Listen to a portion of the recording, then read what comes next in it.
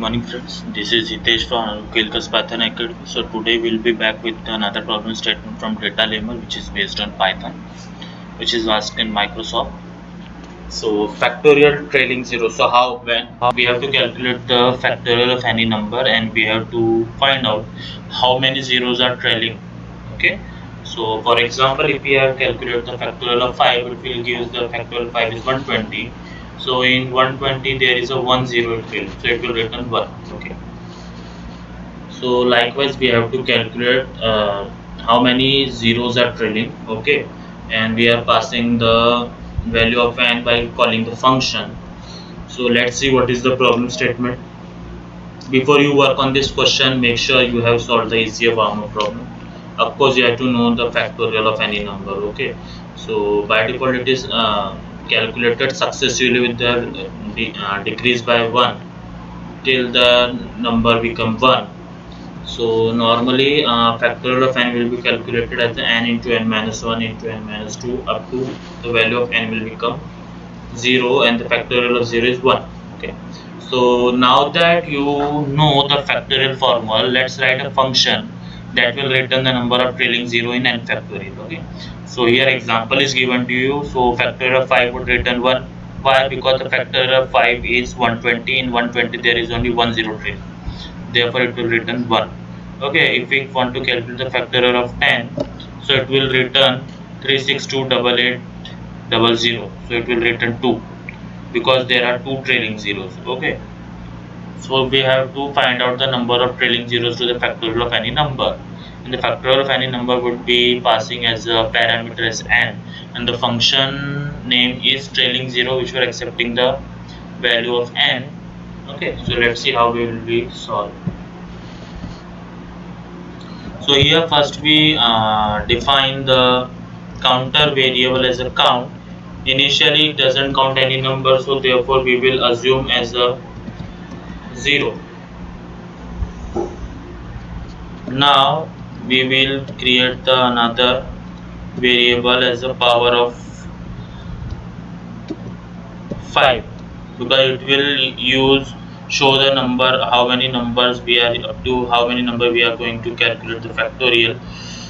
And now we will uh, use while loop. It is a conditional loop where it will uh, compare the value of n which is greater than or equal to power of 5 okay so here it will uh, first uh, increase the counter variable. Count is equal to count.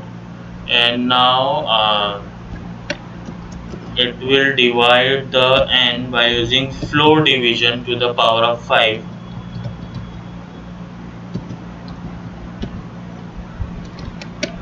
now it will as it will store all the uh, number of power of 5 with the it should be multiple of 5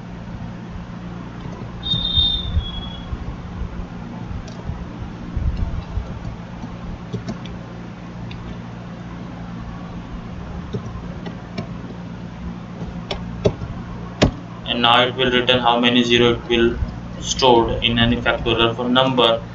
So it will return counter variable that is count.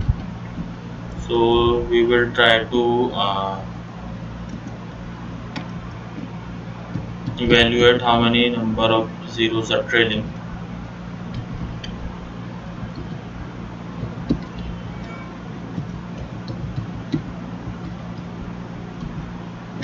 suppose I had passed value of n is 5 so let's see what it will return it will probably return 1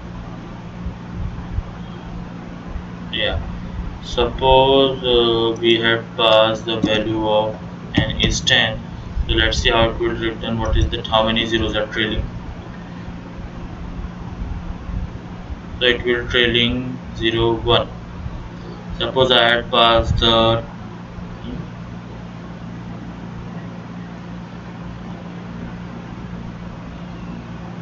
suppose I had passed the value of n is 12 it will return 1 which is expected one.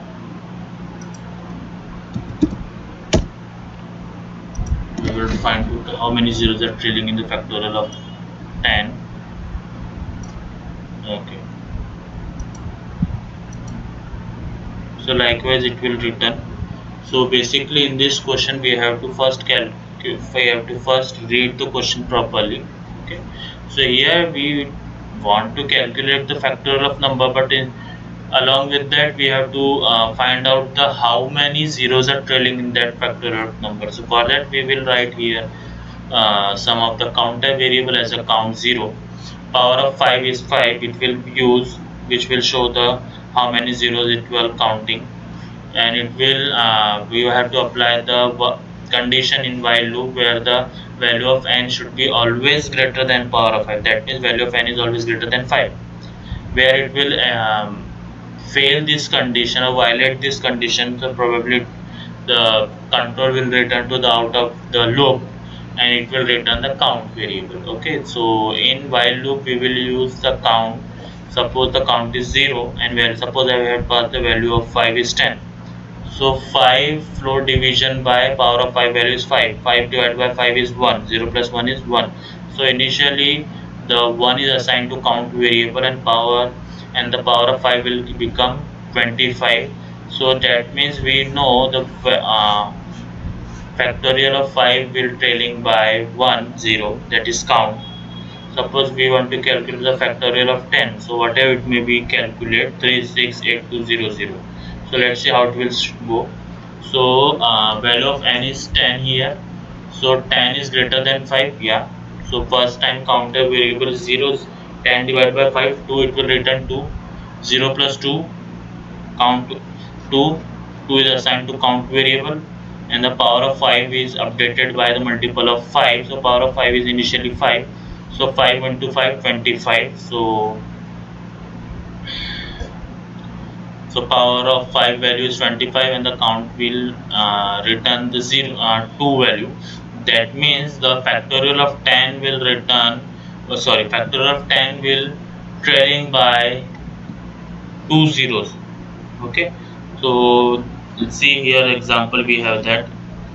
Factorial of 10 is 3628800 so at the end of the factorial of the 10 we, we will see there are the two zero which were trailing.